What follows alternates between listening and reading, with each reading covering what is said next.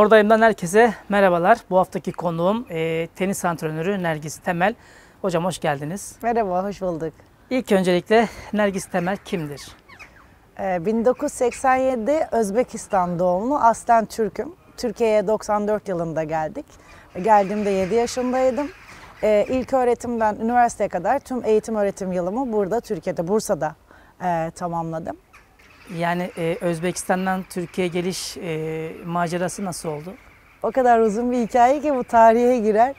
Ee, ama bugünkü konumuz tenis. Ee, yine de kısaca özetlemek gerekirse e, biz Ahıska Türk'üyüz. Ee, 89 yılında ve daha öncesinde de e, birçok defa e, sürgüne uğramış Ahıska Türkleri olarak e, belli bir noktalarda Gürcistan'dan başlayan bu, bu hikaye Özbekistan, e, Kazakistan, e, Türkmenistan ve Azerbaycan'a kadar uzanan bir e, göç serüveni. Biz de o halkın içerisinde olan e, kişilerdendik. E, 89'da da savaş çıktığında orada e, zorunlu bir göç olarak öncelikle Azerbaycan'a geçtik. Azerbaycan'da da 5 yıl yaşadıktan sonra 94 ya da 95 yıllarında Turgut Özal'ın e, Ahıskalara verdiği destekle Türkiye'ye kapılarını açarak e, biz e, yurt dışında yaşayan Türklerin, Ahıska Türklerinin Türkiye'ye gelmesi için bir fırsat tanımıştır ve biz de 94'te e, Türkiye'ye gelerek burada yaşamaya başladık. Türkiye'ye geldiniz. E, burada genelde e, çocuklar polis olmak ister, doktor olmak ister, öğretmen olmak ister. Siz sporla ilgilenmişsiniz. Neden spor seçtiniz? Daha farklı bir sektörde ilerlemediniz? Ee, çocukluğumda e, ortaokul e, zamanlarında başlayan bir spor serüvenini anlatmak gerekirse basketbolla başladım ilk önce. Ortaokulda basketbol oynayarak spor hayatıma başladım. Ee, daha sonra at, spor lisesinde de bu e, spor şeyimi devam ettirdim. E, Atatürk Lisesi'nde spor bölümünü okuduktan sonra artık bu e, işe ne kadar gönül verdiğimi e, fark ederek e, üniversiteyi de spor akademisi olarak okumaya karar verdim. Uludağ Üniversitesi e, Beden Eğitim ve Spor bölümünü kazanarak e, üniversite hayatımı da spor olarak başlatmış ve bitirmiş bulunmaktayım. 2010 mezunuyum ama üniversitede de e, kort tenisiyle tanıştım. Ve üniversitede kendimi keşfettiğimi söyleyebilirim bu branşta özellikle. E, tenis antrenörümüz Günaydın Kırcı'nın da beni bu alanda doğru yönlendirmesi ve beni keşfedip teşvik etmesiyle de e, tenise orada hızlı bir giriş yaparak daha sonrasında hayatımı e, katıldığım tenis antrenörlük kursları ve eğitim ve seminerlerle e, bu noktaya kadar taşıdım. Gerçekten e, çok fazla hissederek ve e, iç içselleştirerek çok severek yaptığım bir branş ve kendimi gerçekten teniste keşfetmiş bulunuyorum. Keşke daha önce bu branşla tanışmış olsaydım. Spora yöneldiniz. Ee, peki ailenizin tepkisi bu konuda ne oldu size? Yani ne dediler? Ee, işte hani farklı e, birçok sektör varken kızım neden spor dediler mi size? Hayır yani o zamanlar zaten daha çocuktuk ama spor bizim ailemizin içinde zaten var olan bir şeydi. Babam e, Rusya'dayken e, eski güreşçiydi. Tabii hobi olarak yapıyordu. E, abim de futbol oynardı. Ve dolayısıyla spor e, beni babam götürdü, kayıt yaptırdı ve spora başlatmama sebep olan kişidir. Sadece annemin ufak tefek korkuları vardı. İşte sakatlık olursa en büyük endişelerden birisi buydu. E, çok şükür bu zamana kadar sporculuk hayatımda herhangi bir sakatlık yaşamadım. E, ailem beni her zaman her konuda desteklemişlerdir. O yüzden aslında e, bu kadar e, birçok alanda ilerlemiş ve başarılı olmuş olmamdaki en büyük sebep de ailemin bana e, e, özgürce e, bu şeylere imkan sağlamış olması ve desteklemiş olmaları. Peki tenis yani e, basketbol oynadım dediniz E, Evet. ama işte tenise yönelmek nasıl oldu? Tenis nasıl bir spor? Tenis harika. Bence çok eğlenceli ama e, birazcık da karmaşık gelen bir branş. Aslında yeni tanışanlarla e, tabii ki. Spor yapmış olanlar, daha önce spor yapmış olanlar biraz daha çabuk öğrenebiliyor ama e, hiç spor yapmayan, işte daha çok masa başı oturan, hareket etmeyen bireylerde bunu öğrenmek ve bizim için de öğretmek biraz daha zaman alıyor ve zorlandıklarını söylüyorlar. Çünkü koordinasyon gerektiren e, bir branş. Ee, birçok e, komuta yani reaksiyona, harekete odaklanmak gerekiyor. Raketini açması gerekiyor, topu takip etmesi gerekiyor. Vuruş anındaki e, vücudun e, gerekliliği yani yapmasını gerektiren hareketler zinciri olduğu için E, bu aslında birazcık e, zorlayıcı bir branş e, öğrenme aşamasında ama sonrasında bunu öğrendiklerinde çok keyif aldıklarını söylüyorlar ve tabii ki biz de bunları görebiliyoruz. Keyifli, eğlenceli ve tek başına da aslında oynayabileceğiniz bir branş. Neden tenis dersek? E, duvarda da oynanabilen bir branş. Tek başına oynayabileceğiniz e, bireysel bir branş olduğu için e, öğrencilerde de sporcularda da çok fazla e, kattığı e, önemli gelişmeler var. Zihinsel e, beceri anlamında, motor beceri anlamında. Aslında bunu daha sonraki sorularda da daha detaya inebilirim. Çünkü gelecektir eminim böyle bir Evet. soru. e, Buna paralel bir soru daha var. Evet. Şöyle e, tenis zengin ve hani e, durumu daha iyi kişiler tarafından yapılan bir spor olarak biliniyor. Bu algı niye oluşuyor ve hani böyle bir algı gerçekten var mı? Böyle bir durum var mı? Aslında evet zengin spor olarak söylenen bir e, algı ya da düşünülen bir algı var ama şöyle aslında bunu açıklamak gerekirse zengin sporundan kasıt şu ki maliyetli bir branş olduğunu söyleyebiliriz.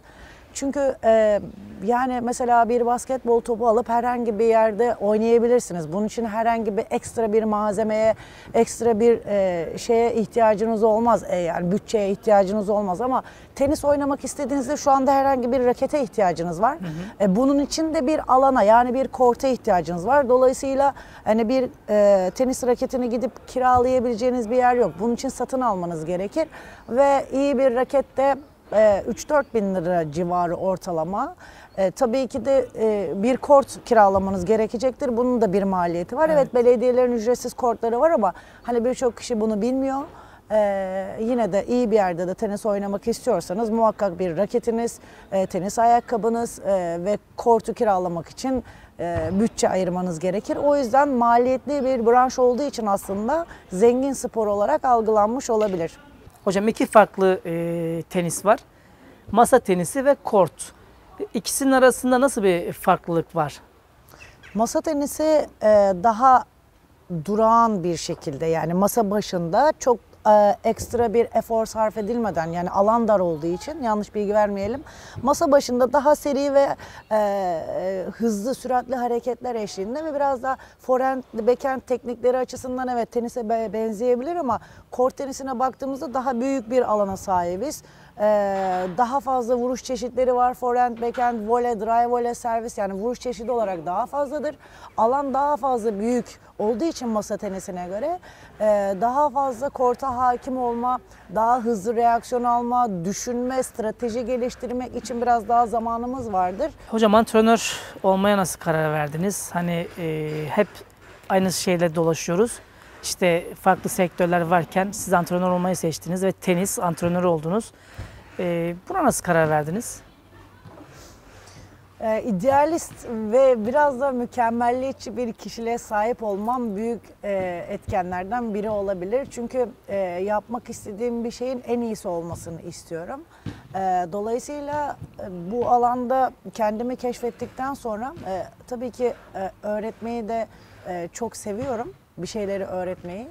E, çocuk, yetişkin, her hangi yaşta olursa olsun.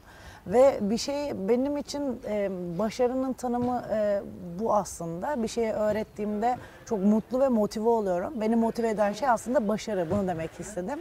Ve dolayısıyla e, teniste de kendimi keşfettikten sonra bunları e, insanlara öğretmeyi e, istedim. Karar aldım ve başarılı bir şekilde de ilerlediğimi düşünüyorum. Güzel, hızlı bir yolculuk oldu e, tenis camiasına da hızlı bir giriş yaptık aslında Nilüfer Belediyesi olarak da. E, bir yıl, bir buçuk yıldır belediyemizde de bu branşı başlatmış olduk. Çok fazla e, çocuk ve yetişkin ve birçok e, halkımızdan birçok kişiye bu alanda hizmet veriyoruz. E, çok talep gördü ve gayet de mutluyum bu durumdan. Hocam tenis temaslı bir spor değil. İşte bir futbol gibi, işte bir basketbol gibi ve e, futbolda, basketbolda süreyle biten maçlar oluyor ama teniste süre değil sayıyla biten maçlar oluyor ve çok Evet. uzun uzun maçlar oynanıyor. 2 saat, 3 saate yakın. Evet. E, tam bu noktada şu soruyu sormak istiyorum. E, yorucu bir spor mu tenis? Elbette yani uzun süren maçlarda hem zihinsel hem de e, fiziksel olarak bir noktadan sonra yorgunluk başlıyor ve bu da artık e, demolarize de etmeye başlıyor kişiyi. elbette yorucu. Yani iki saatten fazla e, kortta kal- kalabiliyor bazen sporcular. Her iki açıdan da yorucu. Çünkü e, mücadele ediyorsunuz ve bitmiyor. Bu süre e, hem fiziksel olarak artık performansınız yetmiyor ve bu süreç sonunda artık zihinsel olarak da bir e, şeye uğramış oluyorsunuz. Hocam her isteyen tenis oynayabilir mi? Elbette oynayabilir. Ee, herkes her yaşta, her yerde tenis oynayabilirler isterlerse. Tenisin bir yaşı yok. Ee, tenisin bir zamanı da yok aslında. 12 ay boyunca oynanabilen bir branş. 7'den 70'e kadar herkesin oynayabileceği, tercih edebileceği bir branştır. Ee, yeter ki insanlar en yakın tenis kulübüne e, başvursunlar, e, denesinler. Bunun için herhangi bir şeye de ihtiyaçları yok. Zaten birçok e, belediye ya da özel kulüplerde zaten tenis raketleri, malzeme vesaire her şey temin ediliyor kulüp tarafından. E, karar almaları, e, istemeleri ve cesaret etmeleri yeterli. En yakın tenis kulübüne giderek tenise başlayabilir, deneyebilir, öğrenebilirler. Bunun için herhangi bir engel yok. Hocam genelde insanlar işte futbola, e, basketbola ve e, daha yakın sporlara yöneliyor. Tenise e, çok fazla ilgi yok gibi. Hani bizim dışarıdan gördüğümüz o. Siz neler düşünürsünüz bu Aslında konuda? aslında popüler belki de alanınız dışında bir branş ya da bir sektör olduğu için olabilir. Yani tenis çok e, çok son zamanlarda çok fazla popüler olmaya başladı.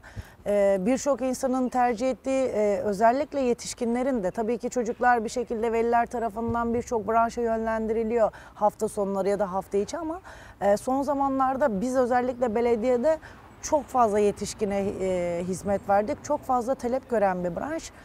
Hocam tenis oynamak isteyenlere ya da işte tenis sporla ilgilenmek isteyenlere, ailelere nasıl tavsiyelerde bulunursunuz? Ee, az önce de bahsettiğimiz gibi e, Bursa aslında e, çok e, popüler olmaya başladı tenis konusunda da. Çok fazla kulüp var Bursa'da tenis kulübü. Hem özel hem belediyeler olarak. Yani e, 7'den 70'e kadar herkesin oynayabileceği bir branşta dedik zaten. E, tenis oynamak isteyenlerin e, bir an önce harekete geçip e, daha cesur olmalarını ve bir an önce adım atmalarını aslında önerebilirim. E, zaman kaybetmesinler. Tenis oynamak için zaman şimdi, şu anda hemen en yakın e, tenis kulübünü arayarak e, kendilerine uygun olan gün ve saatler için e, arayıp bilgi alabilirler.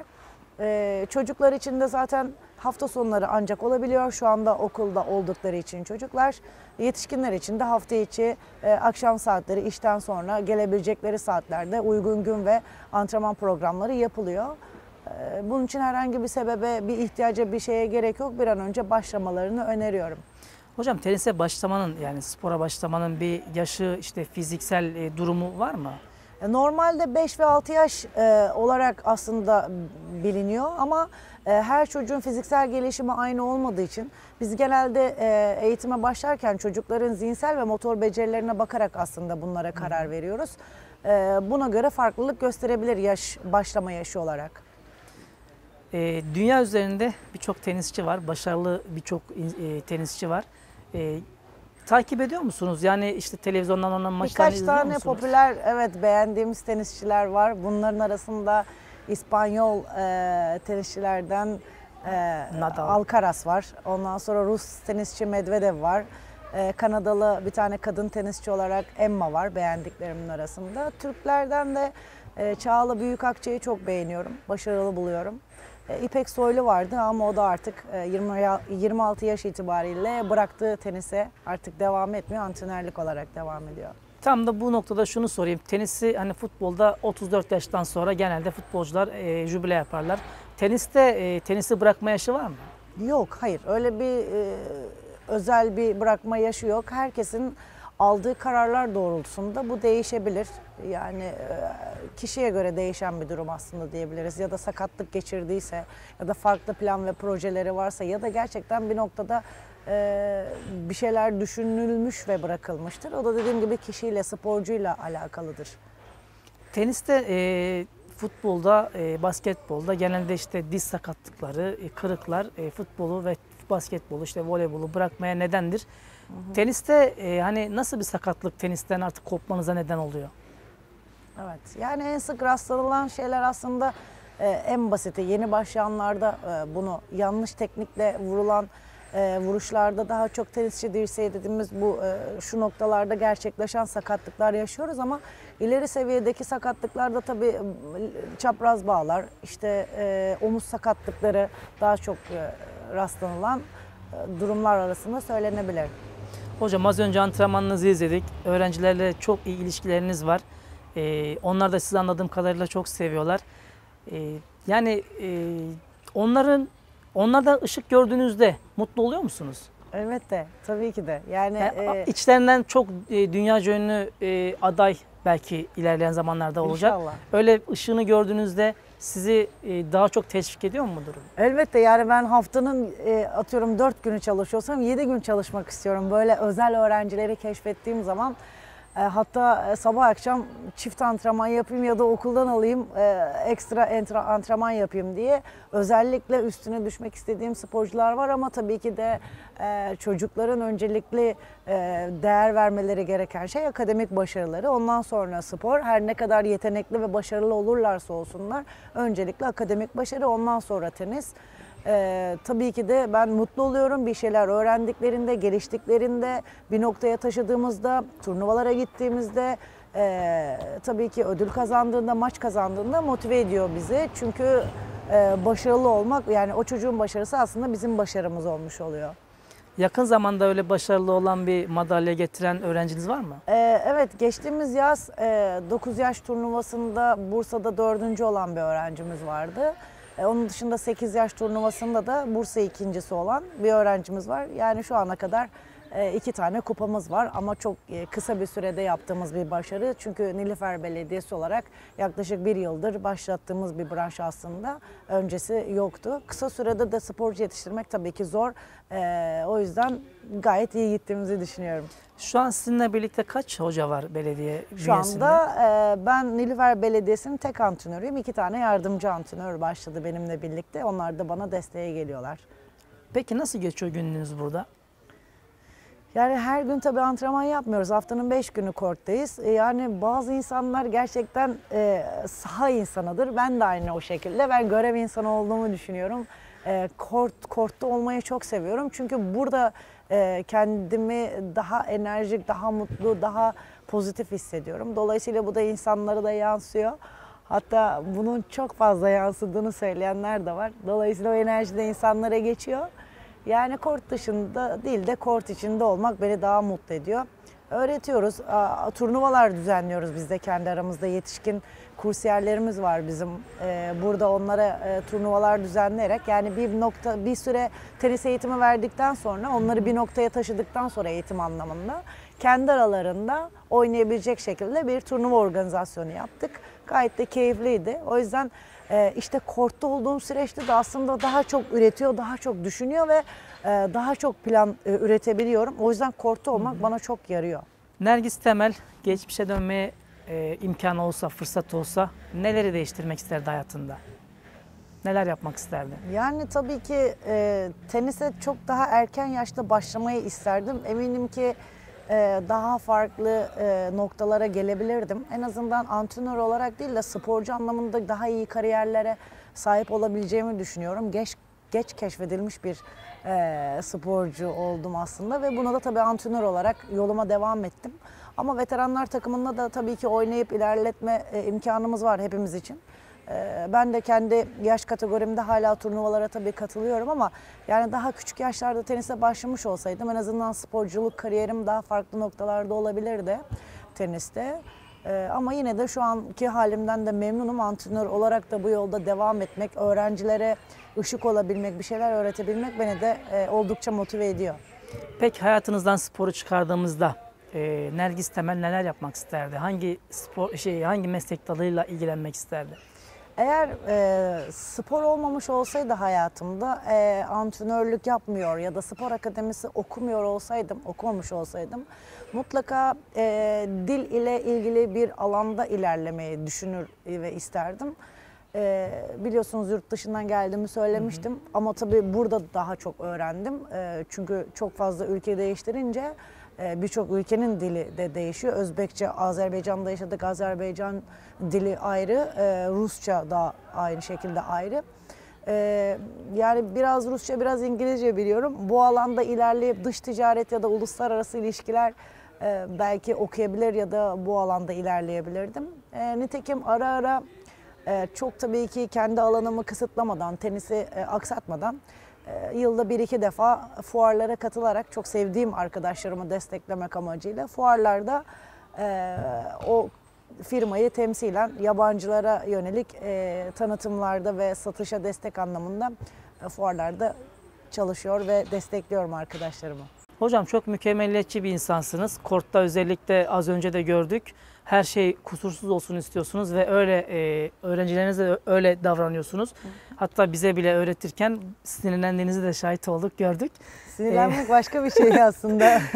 Şöyle e, yani Sinirlenmek mükemmel değil o, olsun diye, evet. iyi olsun diye o Öğretmek anlamda için, söylüyorum. evet. E, normal yaşantınızda bu mükemmeliyetçilik devam ediyor mu? Neler yapıyorsunuz normal yaşantınızda? Nasıl birisiniz? Yani aslında dışarıda tabii kort dışında daha eğlenceli, daha keyifli biri olduğumu söyleyebilirim ama korta girdiğimde o eğlenceli kişi biraz daha e, disiplinli ve daha iş odaklı olduğu için tabii ki de e, bu da kortta daha m, şeye yansıyor, e, işimize yansıyor mükemmelliyetçiliğin e, özelliği ama dediğim gibi o e, korttaki sert mizacın e, arkasında saklanan eğlenceli bir nergis var kort dışında da. E, eğlenceli ve keyifli bir arkadaş olduğumu söyleyebilirim. Onun dışında hocam özel yaşantınızda neler yaparsınız? Ne tarz müzik dinlersiniz? Gezmeyi sever misiniz? Yemek yapmayı sever misiniz? Nergis Temel normal özel yaşantısında kendi kendine kaldığında nasıl birisidir?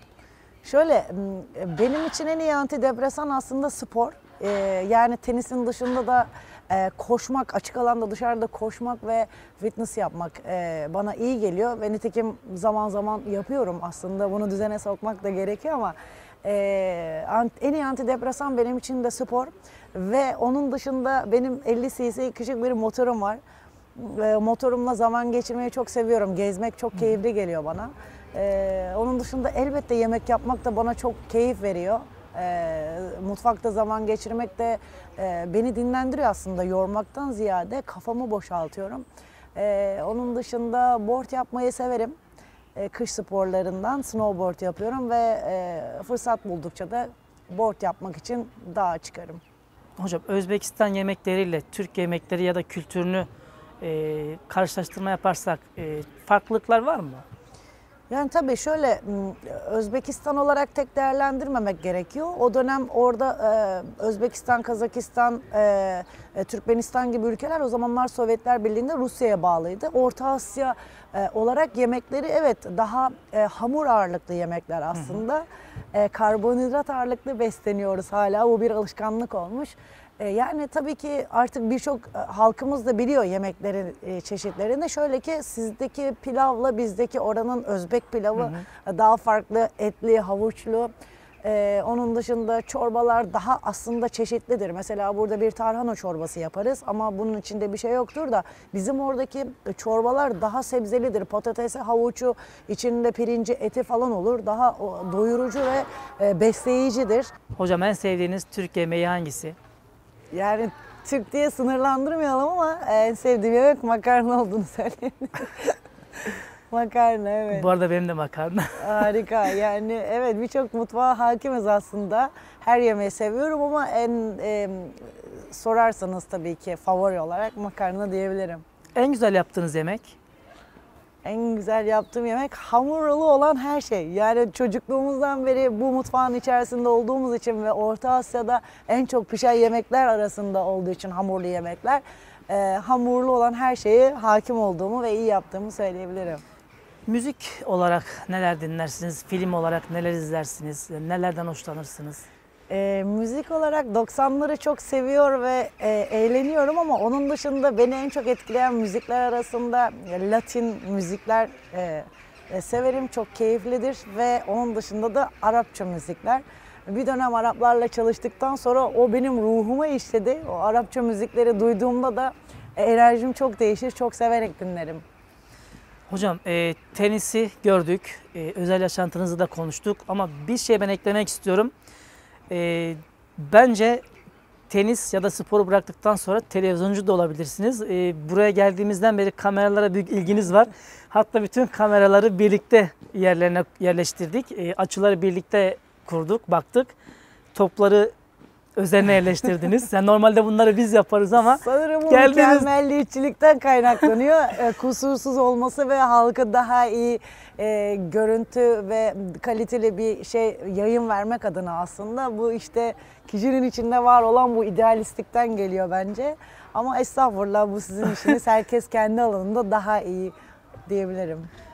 Hocam çok hoş ve keyifli bir sohbet oldu. Var mı eklemek istediğiniz, Teşekkür ederim. konuşmak istediğiniz bir şey kaldı mı? Özellikle söylemek istediğim bir şey yok. Sadece e, herhangi bir e, sebebe, bir ihtiyacı gerek duymadan insanların e, tenise başlamalarını ve bir an önce harekete geçmelerini isterim tabii ki de.